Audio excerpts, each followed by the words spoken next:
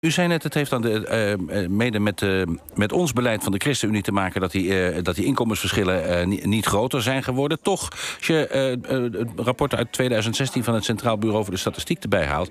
dan constateert dat bureau op dat moment dat de inkomensverschillen buitengewoon klein zijn... en de afgelopen jaren, dus de jaren voor 2016, niet zijn gestegen. Inmiddels zijn de inkomensverschillen beduidend groter geworden... en de ChristenUnie is sinds 2017 gaan regeren. Met andere woorden... U hebt het zelf veroorzaakt. Nou, dat is even net een te snelle conclusie. Wat we wel echt zien is dat het uh, in Nederland is het beleid steeds meer zo gegaan dat het bijvoorbeeld voor eenverdieners heel lastig is om rond te komen. Dat juist zij eigenlijk de meeste belastingdruk ervaren.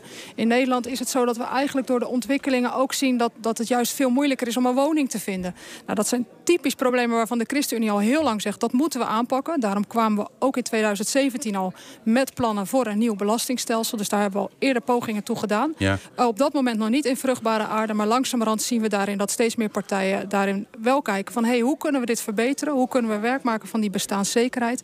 En ik durf er toch mijn hand voor in het vuur te steken... dat dat zonder ChristenUnie met dezelfde kabinetssamenstelling van vele liberale partijen... er toch echt anders uit had gezien. Ja, maar tegelijkertijd constateer ik toch... als je kijkt naar dat rapport van het Centraal Bureau voor de Statistiek uit 2016... dat de inkomensverschillen sinds u en bent toegetreden tot uh, derde en vierde kabinet Rutte zijn toegenomen. Ja, daar kan je nou, ook niet onderuit, mevrouw Bikker. Nou, nee, nee, meneer Kokkelman, echt, het doet me ontzettend goed hoeveel macht u de vijf zetels van de ChristenUnie toedicht in het uh, verslachteren of uh, omhoog brengen van de situatie van mensen. Maar u weet ook wel, als u kijkt naar de afgelopen Prinsjesdagen, de inzet die er is geweest, ja. dat we juist daarin altijd werk hebben gemaakt van de mensen die het het hardste, voor de mensen die het het hardste nodig hebben, ja. voor gezinnen. Ja. En daar zal de ChristenUnie voor blijven staan. Mm. En ja, is dan alles opgelost? U heeft helemaal gelijk. Nee, dat is het niet. Mm. Is het daarom nodig dat deze verkiezingen ook echt gaan over wat je belangrijk vindt en hoe je zorgt voor een, een samenleving waar je er echt voor elkaar bent? Ja. En vandaag leg ik daarom dit programma neer. Ik ben blij met dat kompas. Juist.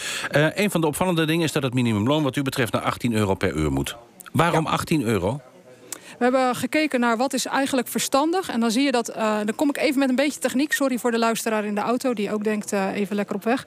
Uh, maar eigenlijk wat is het dan belangrijk? Dat je 60% van het gemiddelde uurloon dat het minimumloon ook wordt. Dat wordt Europees aangeraden en dat is waar de ChristenUnie nu naartoe beweegt. Ja. Uh, en dat is de reden waarom we dit inzetten. Als je kijkt naar de waarom, dan is dat heel erg dat we zeggen... Uh, er is een commissie geweest die heeft gekeken... kan je bestaan van voluit werken met een minimumloon? Het antwoord is onvoldoende. Ja. En wij leggen die bodem nu neer en dat doen we met dit uurloon. Juist, maar andere partijen, ik zei het al, GroenLinks, PvdA en ook de SP... die komen uit op 16 euro. U zit daar 2 euro boven.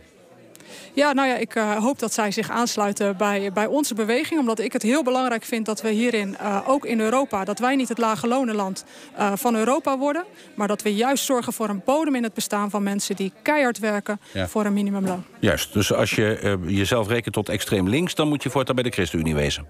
Als je wil gaan voor mensen uit armoede krijgen dan wel, als je wilt gaan voor een superstaat die overal alles over te zeggen heeft. Ja. Dat komt ook wel eens voor bij vooral linkse partijen. Hm. Moet je niet bij de ChristenUnie zijn, want wij zijn van de samenleving.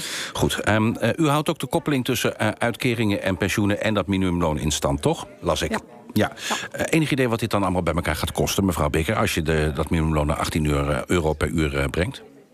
Ja, dat hebben we goed doorgerekend. Onze plannen gaan ook naar het CPB. Dus we hebben daar ook de, de dekking voor. We hebben dat op orde. Ja, er zit uh, geen financiële paragraaf bij het verkiezingsprogramma. Vandaar dat ik het maar even vraag. Nou, ik kan hem zo naar u sturen. Er kwam gisteren nog weer een nieuwe doorrekening uit. En daarin zien we ook dat in ons programma de armoede halveert en de kinderarmoede halveert. Maar ja. ook dat het lukt om daarin financieel rond te komen. Want ja, ja wij houden van uh, gezond financieel beleid en niet ja. van leven op de pof. Ja, waarom staat die berekening dan niet in het verkiezingsprogramma?